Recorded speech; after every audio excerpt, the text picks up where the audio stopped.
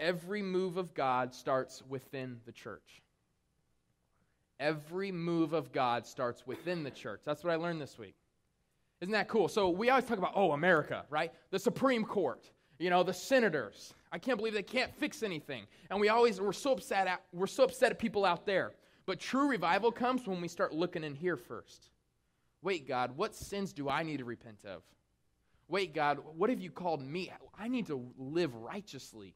I need to walk uprightly. See, nothing hinders the movement of God more than when we harbor unconfessed sin. We see that through all the Bible. If you want God to move, what the Bible says, confess those sins that you've been hiding. And that's when change comes. Guys, I want change. I really want it. And prayer can change things.